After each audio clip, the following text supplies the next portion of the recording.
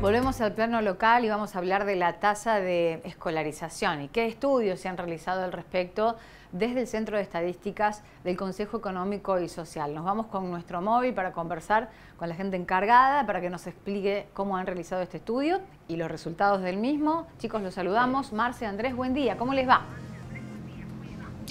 ¿Qué tal, Pauli? ¿Cómo te va? Muy buen día para vos. Abrazo grande a cada uno de los seguidores de Puntal AM, datos de escolarización eh, del Centro de Estadísticas y Estudios de aquí del Consejo Económico Social de la ciudad de Río Cuarto.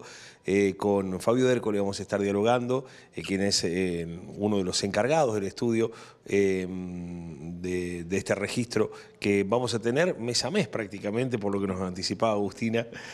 Fabio, ¿qué tal? ¿Cómo te va? Muy buen día para vos. Buen día, bueno, gracias por venir.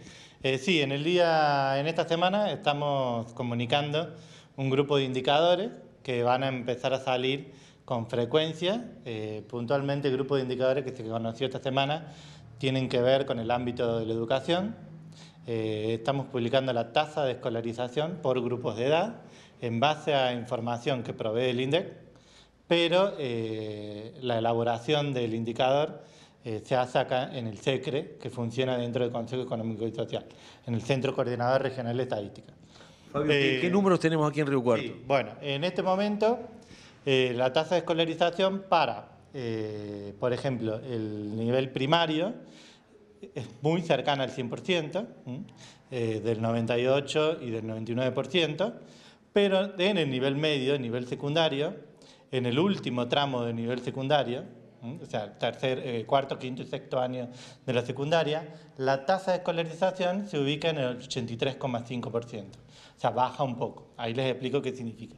Y para el tramo de edad, que sería el que corresponde con estudios superiores universitarios, que va de personas que tienen de 18 a 23 años, la tasa de escolarización baja al 39,3% se ubica en torno a ¿Esta medición es tanto público como privado, tanto para las universidades como para... de instituciones educativas, sean originarias de la ciudad como no. Por ejemplo, para las personas que están escolarizadas en niveles universitarios, pueden estar en universidades privadas, públicas, de la ciudad o fuera de la ciudad, siempre y cuando el estudiante resida en la ciudad, o sea, viva en la ciudad de Río Cuarto. O sea, hay un 16,5% que aproximadamente no puede llegar a terminar el nivel medio. Eh, más o menos. En realidad lo que mide la tasa de escolarización es la cantidad de personas que va, eh, que está en ese nivel, tiene la edad para estar en ese nivel y lo está cursando al día y lo finaliza al día. Bien, eso no significa que no puede, puede, cumplimentar una noche. Claro, se puede atrasar y ya sale fuera del indicador de escolarización y pasa a un indicador de rezago, es decir, todavía está en el sistema, pero con más de dos años de rezago, por ejemplo, se considera.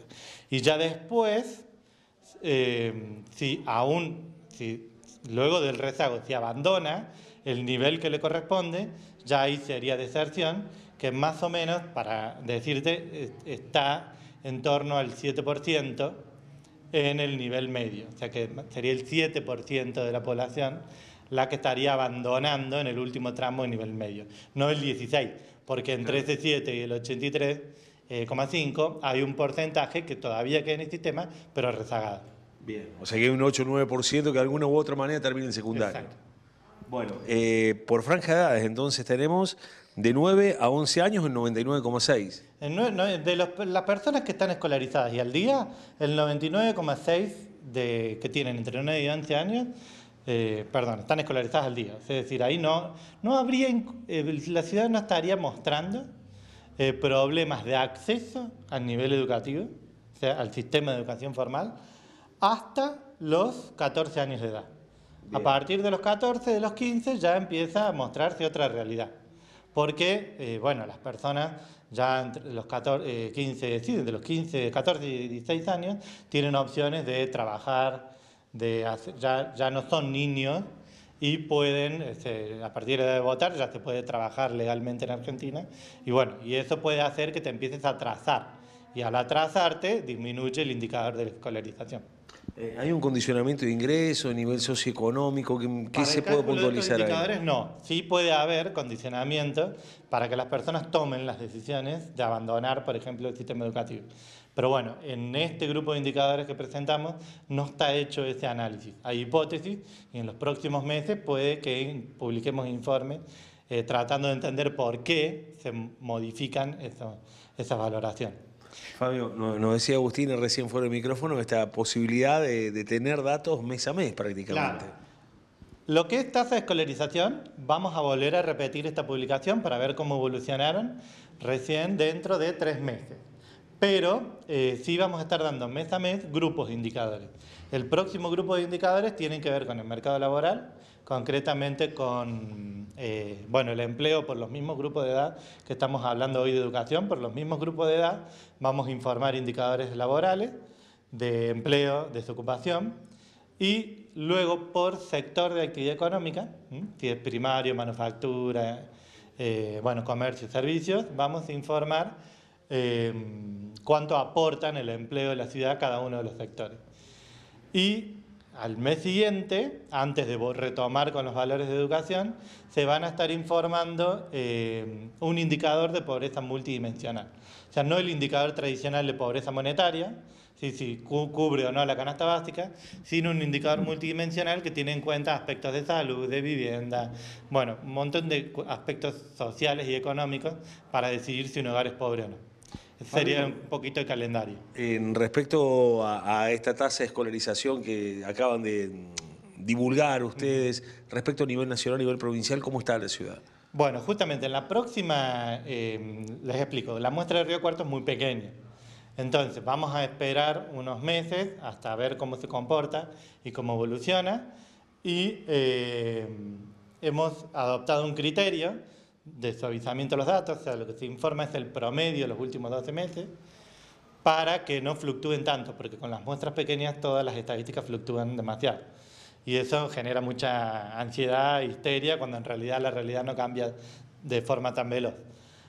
Precisamente por eso, en la próxima iteración, cuando publiquemos, vamos a comparar estos niveles con nivel provincial y nivel nacional.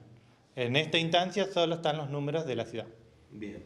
Pauli, 99,6 de 9 a 11 años, 98% de 12 a 14, 83,5 de 15 a 17, 39,3 de 18 a 23 años, los números, el gran trabajo que se ha hecho desde aquí, del Centro de Estadísticas, eh, perteneciente al Consejo Económico y Social, eh, tanto con Agustina como Fabio Dércole. Bueno, muy bien, el agradecimiento. Entonces vemos los datos en pantalla, los datos de escolarización, gracias a Fabio Hércole del Centro de Estadísticas del de, eh, Consejo Económico y Social. Un abrazo, muchas gracias.